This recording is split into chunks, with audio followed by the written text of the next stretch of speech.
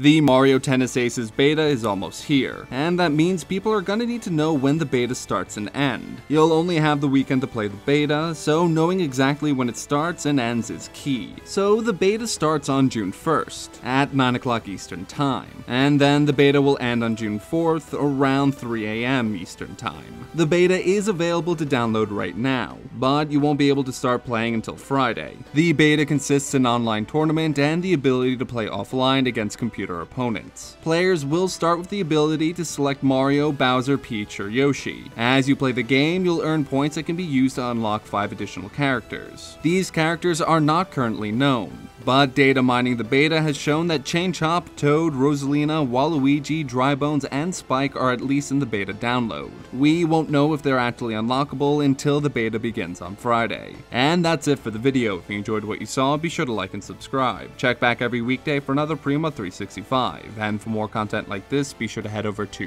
primagames.com.